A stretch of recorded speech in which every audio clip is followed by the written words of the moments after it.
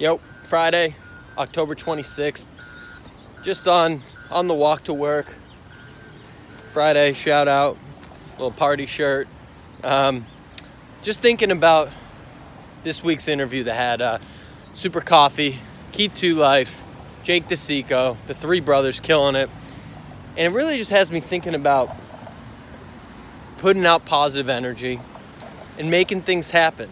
And, um, you know, just the, stories that these guys have of, you know, two brothers dropping out of full scholarships, the oldest brother leaving a high paying job on Wall Street to start this coffee company. And, you know, the story of how they got into Whole Foods is incredible. They, um, they go into Whole Foods one day, they buy an honest tea,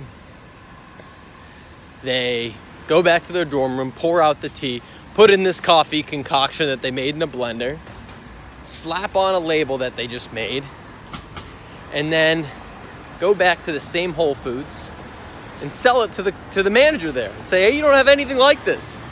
I mean, the audacity to do that. I don't think people that aren't in retail, I'm not in retail, don't understand how difficult it is to get into Whole Foods as a coffee company, dealing against Starbucks and Dunkin' Donuts and Bulletproof.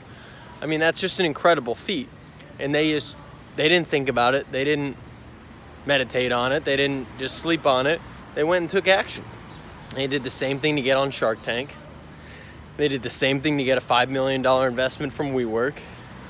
And they did the same thing to distribute all over this beautiful country and turn it into a multi-million dollar business. And um, so that's just a little reminder for everyone out there. It's great to strategize, it's great to think, but you gotta take action. You gotta put out positive energy. They say you change your energy, you change your world. I learned that from Tony Robbins. These guys are subscribed to that theory. Um, just a quick view. San Francisco this morning.